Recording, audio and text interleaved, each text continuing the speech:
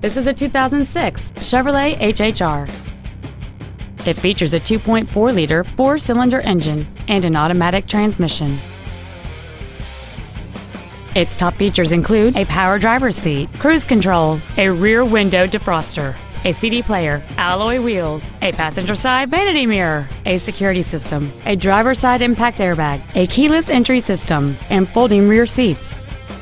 With an EPA estimated rating of 30 miles per gallon on the highway, this automobile pays off in the long run. This Chevrolet has had only one owner, and it qualifies for the Carfax buyback guarantee. Please call today to reserve this vehicle for a test drive.